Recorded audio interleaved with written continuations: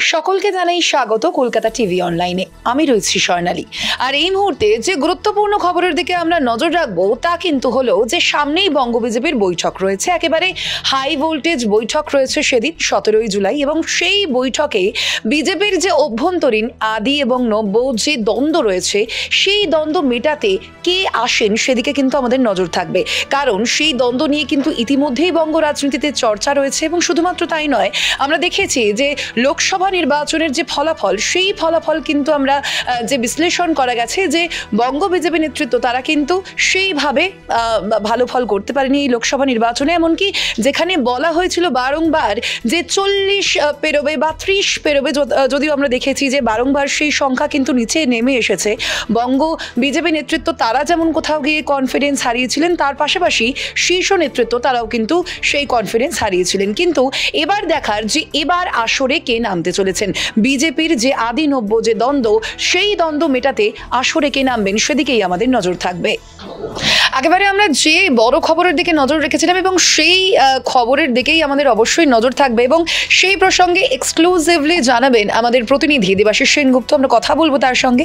দেবাশিস দা, তবে অবশ্যই সতেরোই জুলাই হাই ভোল্টেজ বৈঠক রয়েছে বঙ্গ বিজেপির এবং আমরা যেমনটা দেখতে পাচ্ছি যে এবার কিন্তু লোকসভা নির্বাচনে যথেষ্ট খারাপ ফল হয়েছে বিজেপির। তো সেক্ষেত্রে এই বিজেপির মধ্যেকার যে আদি নব্য যে দ্বন্দ্ব রয়েছে, সেই দ্বন্দ্ব মেটাতে আসরে কে নামবেন? কি খবর রয়েছে? দেখো, একদম ঠিক কথা সেক্ষেত্রে বিজেপি প্রকাশ্যে প্রকাশ্যে কিন্তু কথা বলছে না তাদের ফল খারাপ আছে তারা বলছে তাদের ভোটের পার্সেন্টেজ বেড়েছে। কিন্তু বাস্তবে যে হলো তাদের আসন সংখ্যা আঠেরো থেকে কমে বারো হয়ে হয়েছে।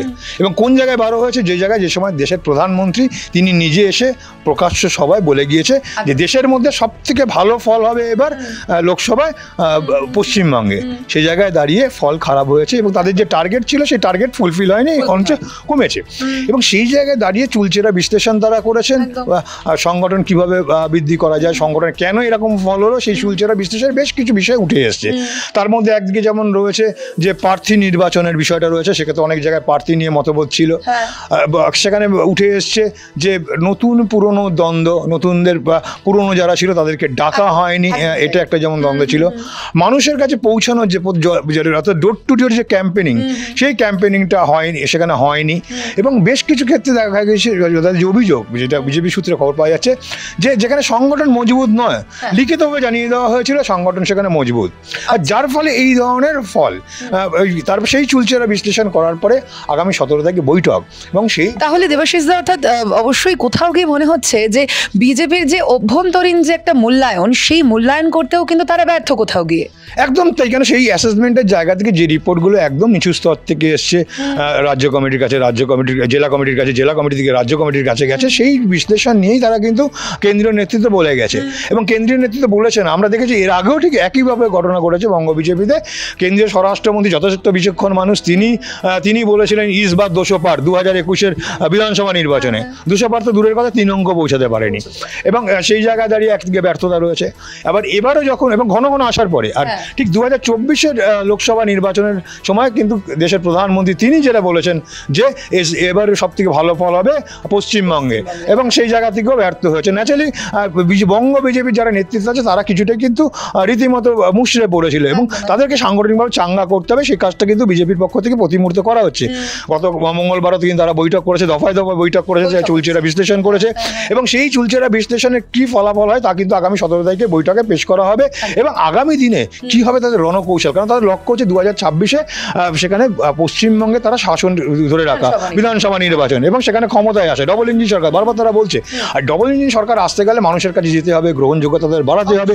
এই বিষয়ে কি করণীয় বিজেপির কর্মী নেতৃত্বের কাছে সেই বার্তা কিন্তু দেবে এবং কেন্দ্রীয় সরকার কেন্দ্রীয় নেতৃত্বের পক্ষ থেকে রাজনাথ সিং সেখানে থাকতে পারেন এবং রাজনাথ সিংয়ের এখানে থাকার বিষয়টা হলো যখন রাহুল সিনহা দু হাজার সালে যখন এখানে বঙ্গবিজয় সভাপতি ছিল সেই সময় দেখা গিয়েছে কিন্তু সেখানে দায়িত্ব পালন করেছে রাজনাথ সিং। এবং রাজনাথ সিং এর সঙ্গে যেটা এখন প্রশ্ন আসছে যে পুরনোদের ডাকা হয়নি এই অনেক পুরনো নেতৃত্বের সঙ্গে কিন্তু রাজনাথ সিং এর খুব ভালো সম্পর্ক রয়েছে। আচ্ছা। নতুনদের সঙ্গেও রাজনাথ সিং এর একটা ভালো সম্পর্ক সম্পর্ক রয়েছে। এই দুইয়ের সমন্বয়ে ঘটিয়ে আগামী দিনে এবং সর্বোপরি নতুন একটা সভাপতি হবে। হ্যাঁ। সভাপতির দায়িত্ব নন্দন কাউকে দেওয়া হবে। কেন? আমরা জানি যে রাজ্য সভাপতি সুকান্ত মজুমদার আছে এবং বিজেপির যে নীতি রয়েছে এক পদ এক এক সেই এক ব্যক্তি এক পদ। সেই জায়গায় দাঁড়িয়ে সুকান্ত কেন্দ্রীয় মন্ত্রী চলে গিয়েছেন। অ্যাকচুয়ালি স্বাভাবিকভাবে ধরে নেওয়া যেতে পারে যে কার কিছুদিন হলো কিছুদিনের মধ্যে কিন্তু নতুন সভাপতি আনবে। নতুন সভাপতি আনতে হবে। এই কারণেই আনতে হবে যে সামনেই ছাব্বিশে হচ্ছে বিধানসভা নির্বাচন রাজ্যে।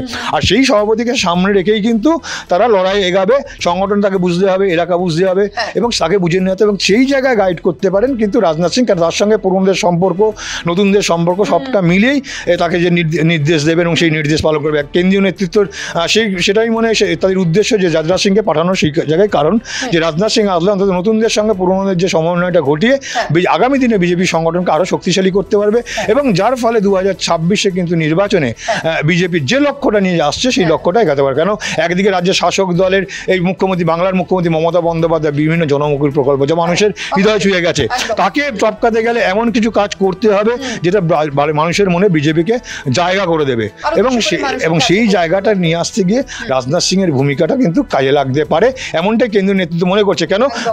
অমিত শাহ এবং দেশের প্রধানমন্ত্রী নরেন্দ্র মোদী তারা যা বলে গিয়েছিলেন সেই জায়গায় বাস্তব মেলেনি। একদিকে বঙ্গ বিজেপিও মেলেনি আর পশ্চিমবঙ্গের মানুষও কিন্তু সেটা মিলিয়ে দেখতে পারেনি।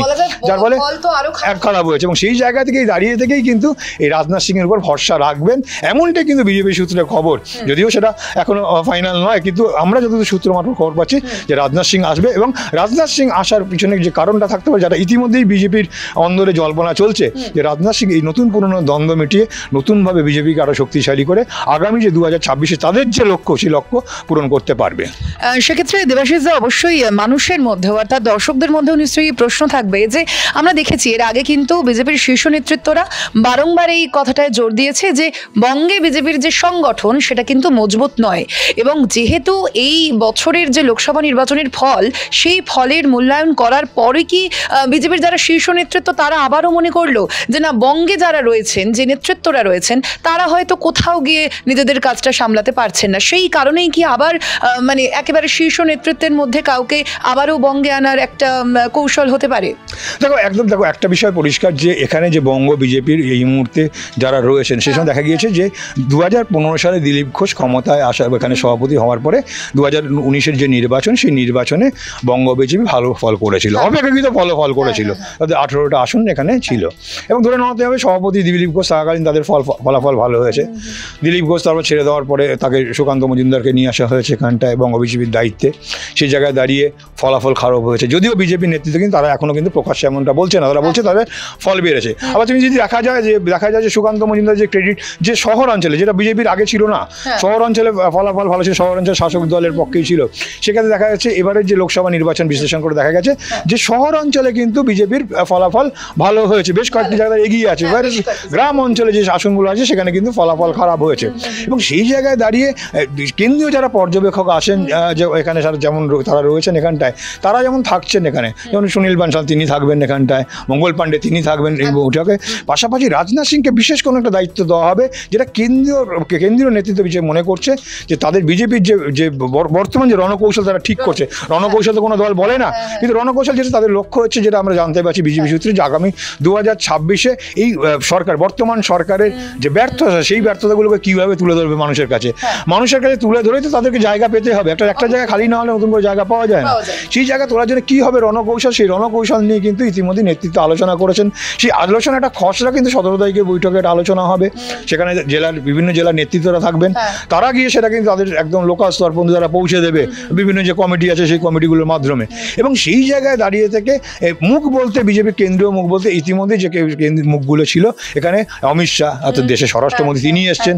এর আগে আমরা দেখেছি বরংবার এসছেন কিন্তু তিনি যা বলেছেন তা মেলেনি বাংলার মানুষও তা দেখেছেন বাংলার মানুষ তাও দেখেছেন বিজেপির নেতৃত্ব তাও দেখে রাবঙ্গ নেতৃত্ব তা দেখেছে। প্রধানমন্ত্রী এসছে বলেছেন যা বলেছেন তিনি সেটাও কিন্তু মেলেননি। একদম। বাংলার মানুষ দেখেছেন বিজেপি নেতৃত্ব দেখেছেন। না সেটা কিছুটা মুচড়ে পড়েছে যে এরপরে সংগঠন তারা বাড়াতে পারছে না ঠিক হচ্ছে না কেন? এই চুলচেরা বিশ্লেষণ যেটা হচ্ছে লোকসভা নির্বাচনের পরে সেই চুলচেরা বিশ্লেষণ যেটা বললাম যে বেশ কিছু জায়গায় কিন্তু তারা তাদের যে যে দু- দুর্বলতা জায়গা ঘাটতিগুলো তারা কিছুটা লক্ষ্য করেছে এবং সেটা নিয়েও যেমন আলোচনা হবে পাশাপাশি আগামী দিনে এগিয়ে চলার যে লক্ষ্য এবং তাদের যে লক্ষ্য পূরণ করার যে উদ্দেশ্য থাকবে সেটা কীভাবে চলবে না চলবে তা কিন্তু বিস্তারিত আলোচনা হবে যেটা হবে কিনা মনে করা হচ্ছে যে রাজনাথ সিংকে রাখা রাখা হচ্ছে তার কারণেই রাখা হচ্ছে। বিশেষ প্রতিনিধি বিশেষভাবে দায়িত্ব দেওয়া হবে যে এই কেন্দ্র এবং রাজ্যের সঙ্গে যে সমন্বয় যে কার পর্যবেক্ষকরা ছিল পর্যবেক্ষকরা যেমন আছে তার মধ্যে থাকবে। পাশাপাশি কিন্তু বিশেষভাবে অর্থাৎ ধরো এমনটা হতে পারে সপ্তাহে বা মাসে একবার হয়তো তাদেরকে দিল্লিতে ডেকে নিয়ে গিয়ে বৈঠক করা হলো নিচে থেকে নির্দেশ দেওয়া হলো যেটা আগে অমিত শাহর মাধ্যম দিয়ে আসতো। এবং সেই জায়গায় দাঁড়িয়ে থেকে সেই নির্দেশ তার তিনি দেবেন। তিনি প্রতি- মুহূর্তে বাংলার যে বিভিন্ন ঘটনা সেই ঘটনা পুঙ্খ পুঙ্খ বিশ্লেষণ করবে কেন্দ্রীয় নেতৃত্বের সঙ্গে আলোচনা করবেন। করে বাংলায় সেটা কীভাবে ইমপ্লিমেন্ট করবে অর্থাৎ তাকে সেটাকে প্রয়োগ করবে সেটার সামনে আলোচনা হবে। এইটা নিয়েই মনে হয় রাজনাথ সিংয়ের উপর একটা বিশেষ কোনো নির্দেশ থাকবে। কারণ বিজেপির এখন লক্ষ্য হচ্ছে দু হাজার ছাব্বিশে বাংলায় ক্ষমতা দখল করা এবং বারবার তারা বলে এসছে প্রধান নরেন্দ্র মোদীও বলে গিয়েছেন দেশের প্রধানমন্ত্রী অমিত শাহ তিনি বলেছেন এবং তাদের তাদের বর্তমান যারা নেতৃত্বে রয়েছেন বিজেপি বঙ্গবিধি তারাও কিন্তু একই কথা বলে আসছে। আর মুখে বলে আর কাজের মধ্যে যে ফরাক তারা দেখা গেছে দুরক্ষারে। সেই বই যাচ্ছে। এবং। সেই জায়গায় দাঁড়িয়ে তারা কিন্তু এখন থেকে আটঘাট বেঁধে নামতে চলেছে। হ্যাঁ। এবং নাড়বে সেই কারণে যখন একদম নতুন করে নামবে কারণ নতুন সভাপতি হবেন যিনি দায়িত্ব পান সভাপতি সে হ্যাঁ। সে পুরনো দিলীপ ঘোষ ফিরে আসলো কারণ দিলীপ ঘোষের বাধা হচ্ছে পরপর তাদের যে সাংগঠনিক নিয়ম যে পরপর দুবার তিনবার হওয়া যাবে না। কিন্তু দিলীপ ঘোষ দুবার হয়েছিল তারপরে আবার কিছুটা গ্যাপ পড়েছে আবার তিনি হতে পারেন। হ্যাঁ। দিলীপ ঘোষ থাকলে দিলীপ চোখ সাংগঠনিকভাবে অনেকটাই শক্তিশালী তিনি জানেন। কিন্তু পাশাপাশি আবার যে নতুন কেউ হয় তাকে আবার নতুন করে কিন্তু তার পুরো সংগঠনটা বুঝতে হবে। ভৌগোলিক বুঝতে হবে। বিজেপিতে এমন রীতিও আছে যে যারা যারা মানুষ চেনে না অনেকে জানেন না কিন্তু তাকেও হয়তো নতুন করে দেখা গেল তাকে সভাপতির দায়িত্ব দেওয়া হলো। এটা বিডিবির রণকৌশল আমরা এর আগেও দেখেছি হ্যাঁ, দেখেছি। দিলীপ ঘোষ হওয়ার সময় কিন্তু আমরা দেখেছি এবং সুকান্ত মজুমদার হওয়ার সময় আমরা দেখেছি হঠাৎ করে তার নাম ঘোষণা করা সভাপতি। এখন সারপ্রাইজ হতে পারে। হ্যাঁ। এবার সেটা তৈরি করে নেবে দল সংগঠন। এবং সেই জায়গা থেকে দাঁড়িয়ে রাজনাথ সিংয়ের উপর কেন্দ্রীয় যারা নেতৃত্ব আছে তারা ভরসা রাখছেন। কেন? তার যে অতীতের যে এই বাংলার সঙ্গে তার যে যোগাযোগ সেই যোগাযোগটাকে কাজে লাগাতে চাইছে এমনটাই মনে করছে বিশেষজ্ঞ মহল। আমাদের প্রতিনিধি দেবাশিস সেনগুপ্ত যেমনটা জানালেন যে এই সামনের যে সতেরোই জুলাইয়ের যে বঙ্গ বিজেপির বৈঠক রয়েছে, সেই বৈঠকে কিন্তু রাজনাথ সিং একটি বিশেষ গুরুত্ব পেতে পারেন এবং যেমনটা আমরা দেখতে পাচ্ছি যে বঙ্গ বিজেপির যে আদি নব্য যে দ্বন্দ্ব রয়েছে, সেই দ্বন্দ্ব মেটাতেই হয়তো রাজনাথ সিংকে এবার মাঠে নামাতে চলেছে বিজেপির শীর্ষ নেতৃত্ব। অবশ্যই সেদিকে তো আমাদের নজর থাকবেই, তবে এছাড়াও আরও বিভিন্ন খবরের জন্য অবশ্যই দেখতে থাকুন কলকাতা টিভি অনলাইন।